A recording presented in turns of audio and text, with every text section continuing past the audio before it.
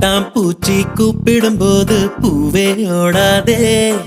காதல் தேனை சாப்பிடும் போது பேசக்கூடாதே.